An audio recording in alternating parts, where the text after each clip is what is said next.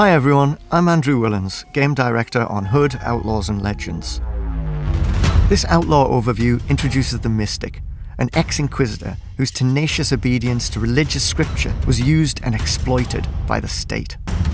The Mystic is a capable melee fighter who provides versatile support abilities to the team, ranging from healing to crowd control and tactical insight. The Mystic wields the Flail, a melee weapon with a long reach, capable of controlling the pace of any fight. His heavy attack is a long-range strike that can stun targets, setting them up for a killing blow from you or your allies.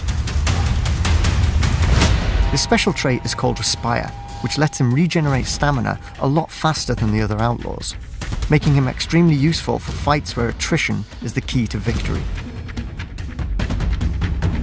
The Mystic's gear item is Poison, which not only obscures vision, but also saps the stamina of enemies unfortunate to find their way into its range. Use it to flush out enemies from choke points or weaken them before breaching a room. His ultimate ability is called Instinct. Channeling his spiritual connection to the world allows him to see enemies through walls and objects for a short period of time, as well as healing himself and any nearby allies. You can use it to infiltrate interiors where guards could be lurking around every corner, or to refresh your allies during a big fight. The Mystic's perks allow for greater customization of how you wish to apply his skills.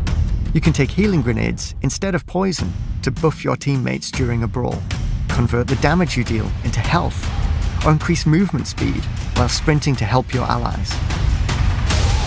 Thanks for watching our Outlaw overview, and stay tuned for more updates on Hood, Outlaws and Legends.